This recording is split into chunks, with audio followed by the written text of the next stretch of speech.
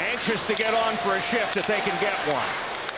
Krejci able to give it on a cross and a shot by Grzelcyk. Scores! Matt Grzelcyk has made it 4 to one.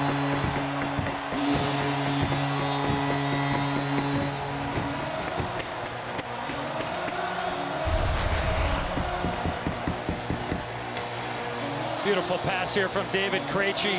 Grzelcyk. Puck was end over end, Doc, and ends up going crossbar and in. I think Binnington was expecting a fastball and ended up coming in more as a knuckler.